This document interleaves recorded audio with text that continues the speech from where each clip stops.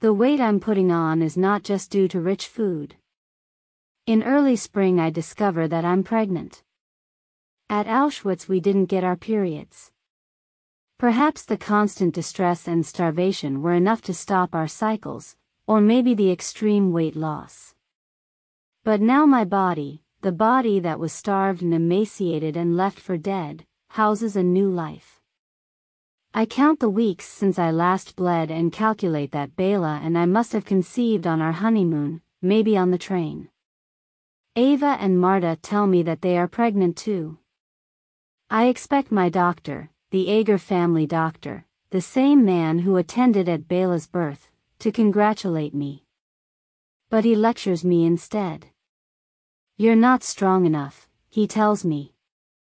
He urges me to schedule an abortion, and soon. I refuse. I run home in tears. He follows me. Marishka lets him into the parlor. Mrs. Eger, you will die if you have this child, he says. You are too skinny, too weak. I look him in the eye. Doctor, I am going to give life, I say. Good night. Bela follows him to the door.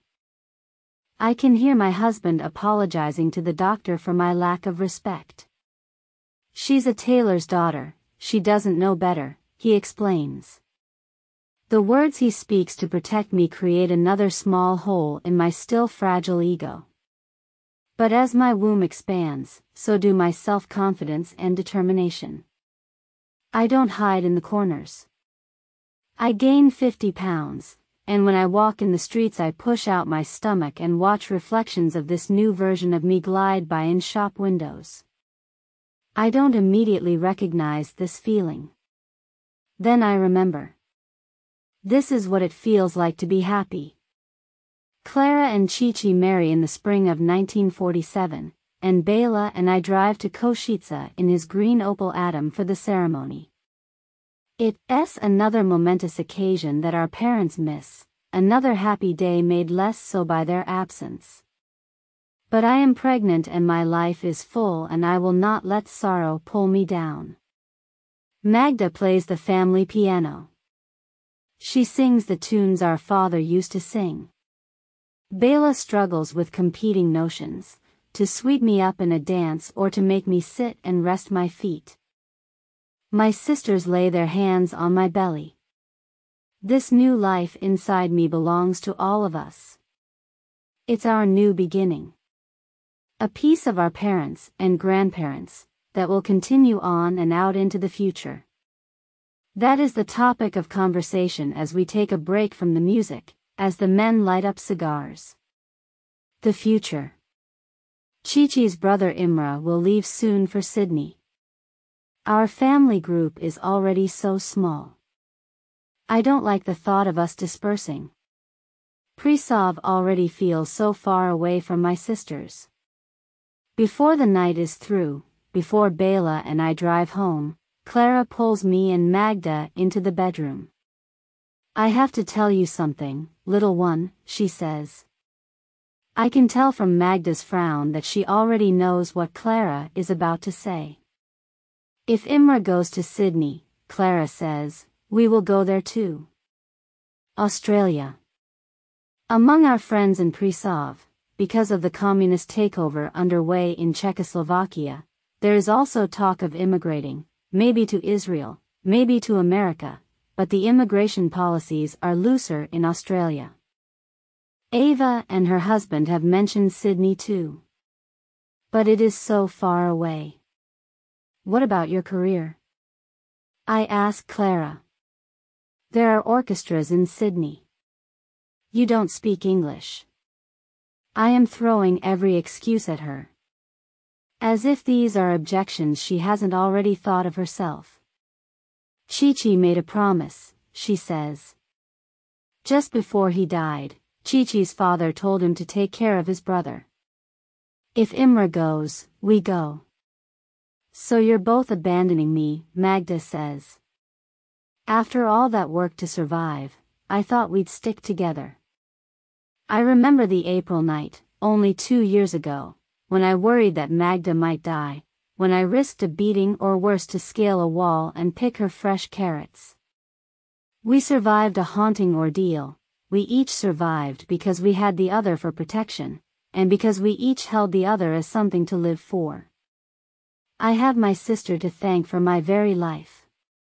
You'll be married soon, I reassure her. You'll see. No one is sexier than you.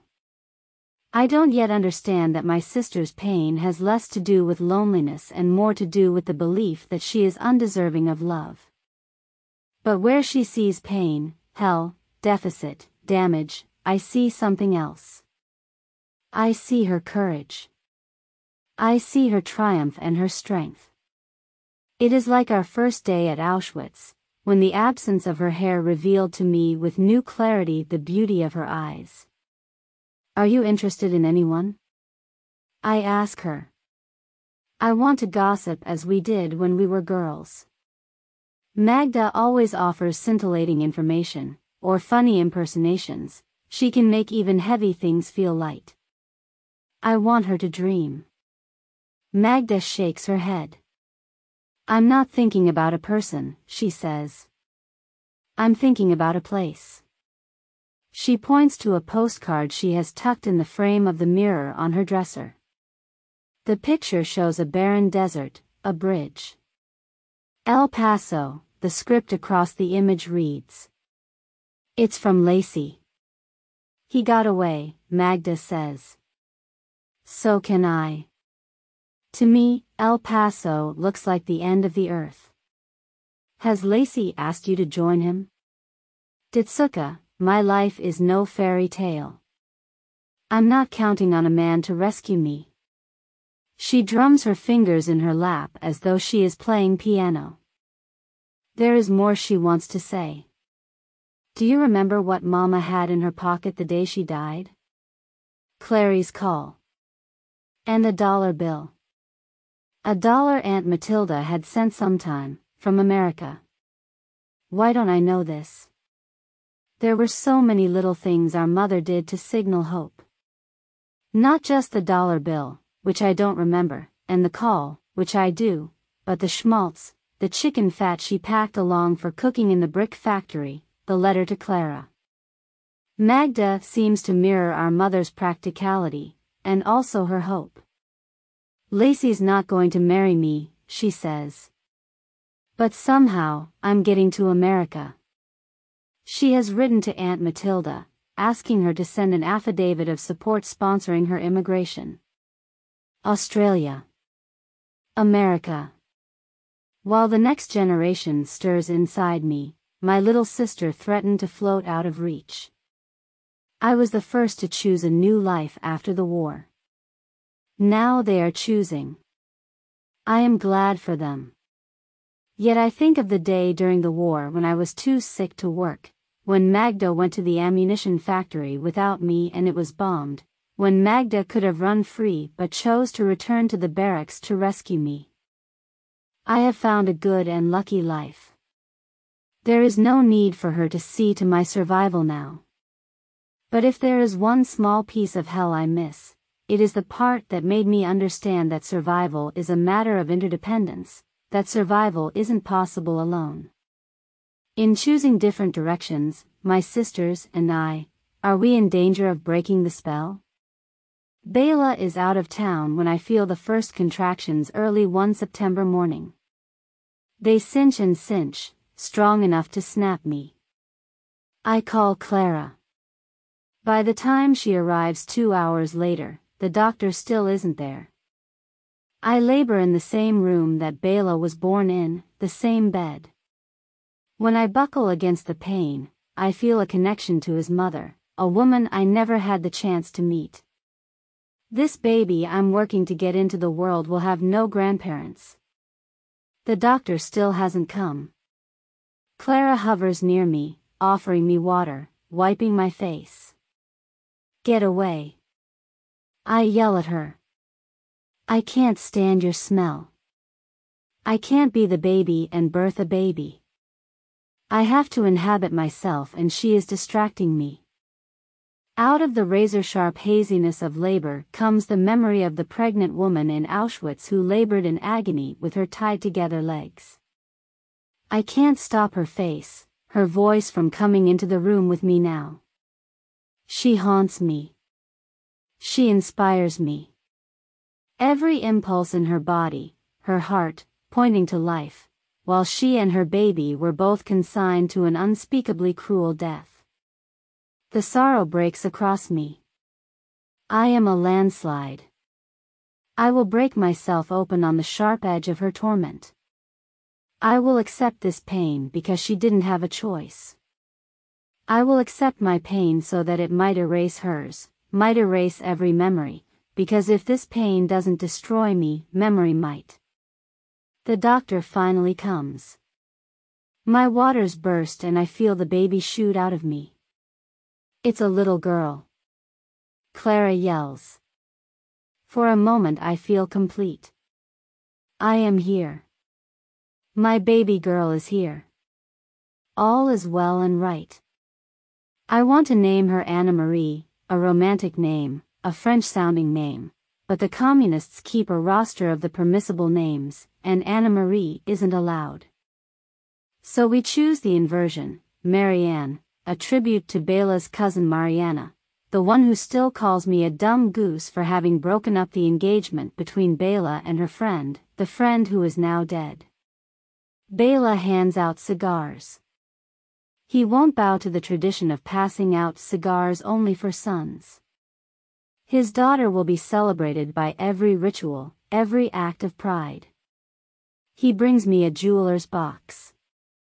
Inside is a gold bracelet of linked squares the size of postage stamps, made of two kinds of gold. It looks heavy, but it's light. To the future, Bela says, and clasps it around my wrist. He says it and I know the direction of my life. This is what I will stand for, this child.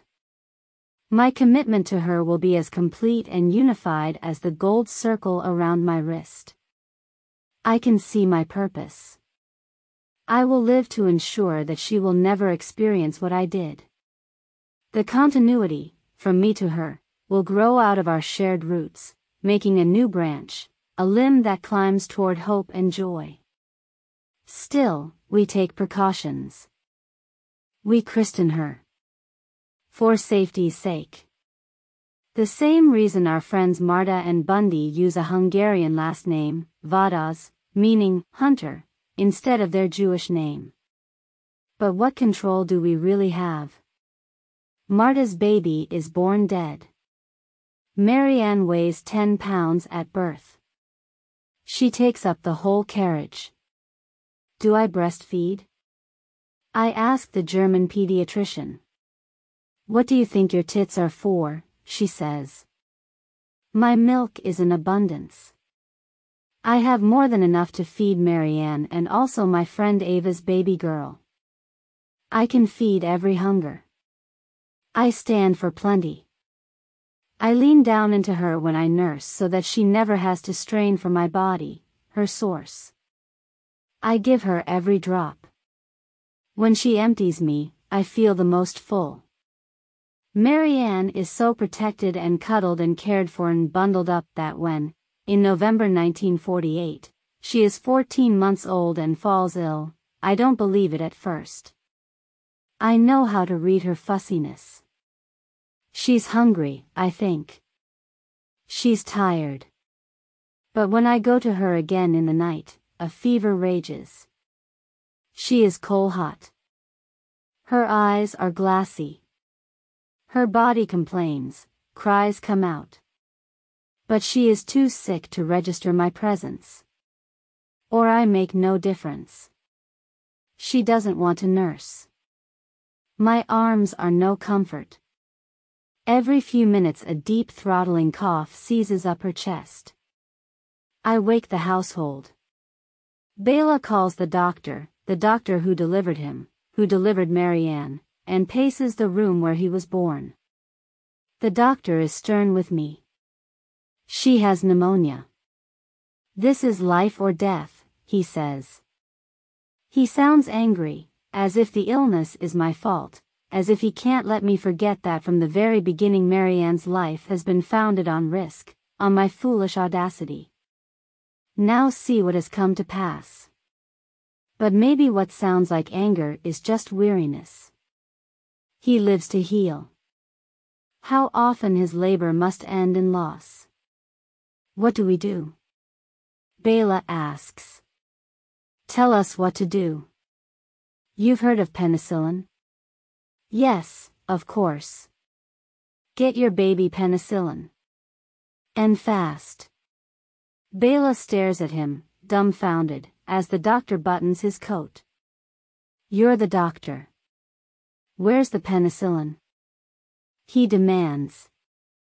Mr. Eger, there is no penicillin in this country. None that you can buy legally. Good night. Good luck. I'll pay any price. Yes, the doctor says. You must make your own arrangements. The communists? I suggest when the doctor has left. They liberated Slovakia from Nazi occupation. They have been courting Bela, courting his wealth and influence. They have offered him a position as Minister of Agriculture if he will join the party. Bela shakes his head. Black market sellers will have more direct access, he says. Marianne has fallen back into a fitful sleep. I must keep her hydrated, but she won't accept water or milk. Get me the cash, I say, and tell me where to go. Black market dealers run business alongside the legal sellers at the market in the center of town. Bela will be recognized, but I can preserve my anonymity. I am to visit the butcher and say a coded message, and then go to the baker and say another code, and then someone will seek me out. The dealer intercepts me near the flour vendor. Penicillin, I say. Enough for a sick child. He laughs at the impossibility of my request. There's no penicillin here, he says. I'll have to fly to London. I can leave today. Return tomorrow. It'll cost. The price he names is twice the amount Bela has wrapped in newspaper and put in my purse. I don't waver. I say what I will pay him. I say the exact amount I carry. It must be done. If you don't go, I'll find someone else. I think of the guard the day we left Auschwitz, my cartwheel, his wink. I have to speak to the part of this man that will cooperate with me. You see this bracelet? I pull up my sleeve to reveal the gold bracelet that I have worn every day since Marianne's birth. He nods. Maybe he imagines how it will look on his wife or girlfriend's wrist. Maybe he is mentally calculating the price he can get for it. My husband gave this to me when our daughter was born. Now I am giving you the opportunity to save our daughter's life.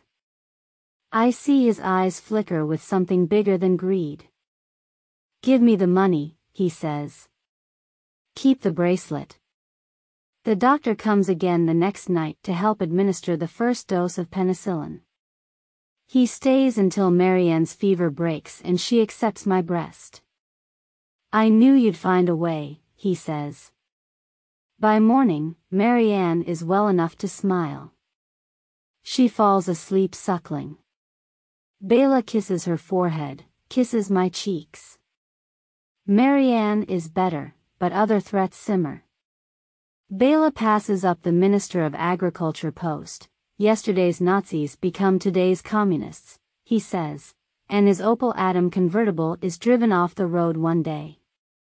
Bela isn't hurt, but the driver suffers some minor injuries. Bela goes to his house to bring supplies and good wishes for his recovery. The driver cracks the door but won't open it all the way. His wife calls from another room. Don't let him in, she says. Bela forces the door open and sees one of his mother's finest tablecloths on their table. He comes home and checks the cabinet where the good linens are stored. Many items are missing. I expect him to be angry, to fire the driver, maybe other employees. He shrugs. Always use your beautiful things, he tells me. You never know when they'll be gone. I think of my family's apartment caked in manure, our piano sitting in the coffee house down the road, the way the big political moments, power changing hands, borders rewritten, are always personal too. Košice becomes Kassa and then Košice again. I can't do it anymore, I tell Bela. I can't live with a target on my back. My daughter is not going to lose her parents. No, he agrees. I think of Aunt Matilda. Magda has received her affidavit and is waiting for a visa. I am on the cusp of suggesting to Bela that we try to follow Magda to America, but then I remember that Magda has been warned that it could take years to get the visa, because even with sponsorship, immigration is subject to quota restrictions. We can't rely on a years-long process to protect us from the communists. We need a swifter exit. On December 31, 1948, Marta and Bundy come to our house to welcome the new year. They are ardent Zionists. They toast the health of the new state of Israel, drink after drink. We could go there, Bela says. We could start a business. It's not the first time I have pictured myself in Palestine. In high school, I was a Zionist, and Eric and I had imagined living in Palestine together after the war. In the midst of prejudice and uncertainty, we couldn't stop our classmates from spitting on us, or the Nazis from overtaking our streets, but we could advocate for a future home, we could build a place of safety. I can't tell if I should greet Bela's suggestion as the fulfillment of my old deferred dream or worry that we are relying on an illusion, an expectation that will lead to disappointment. Israel is such a new state that it has yet to hold its first elections, and it is already at war with its Arab neighbors. Furthermore, there is not yet a law of return, the legislation that several years later will grant any Jew, from any country, the ability to immigrate and settle in Israel. We will have to get there illegally, relying on Bricha, the underground organization that helped Jews flee Europe during the war, to arrange our passage on a ship. Bricha is still underground, and still helping people, refugees, the dispossessed, the homeless and stateless, to a new life. But even if we can secure seats on a boat, our plan isn't a sure bet. Only a year ago, the Exodus, carrying 4,500 Jewish immigrants seeking asylum and resettlement in Israel, was sent back to Europe. But it is New Year's Eve. We are hopeful. We feel brave. In the final hours of 1948, our plan for the future takes shape. We will use the Eger fortune to buy all the equipment we need to start a business in Israel. In the following weeks, after much research, Bela will decide that a macaroni factory is the wisest investment, and we will pack a boxcar with all of our belongings, with enough to sustain us through the first years in our new home. We Hungarians can't end a night of drinking without eating sauerkraut soup. Mariska brings steaming bowls of it. Next year in Jerusalem, we say. In the coming months, Bela buys the boxcar that will carry the Eger fortune to Italy and then on to Haifa by ship. He buys the essential equipment for the macaroni factory. I see to the packing of the silver, the china with gold initials. I buy clothes for Marianne, enough for the next five years, and sew jewels into the pockets and hems. We send the boxcar ahead and plan to follow, as soon as Bricha helps us find a way. One late winter day when Bela is away on business, a certified letter comes for him from Prague, a letter I sign for, a letter I don't wait for him to read. Before the war, the letter says, Czechoslovakian citizens who had already immigrated to America were allowed to register any family members still in Europe, under a law that would allow people suffering persecution to apply for visas to come to America without being subject to the quota restrictions that limited the number of people who could find refuge in the United States. Bela's great uncle Albert, who had been in Chicago since the early 1900s, had registered the Eger family. We are now one of two Czech families registered before the war invited to seek refuge in America. Bela must report right away to the American consulate in Prague for our documents. Our boxcar is already en route to Israel. A new life is already on the horizon. We have already arranged everything. We have already chosen. But my heart races at this news at this unexpected opportunity. We could go to America like Magda, but without the weight. Bela returns from his trip, and I beg him to go to Prague for the documents. Just in case, I urge him. Just as a precaution. Grudgingly, he goes. I put the papers in the top drawer of my dresser, with my underwear. Just in case.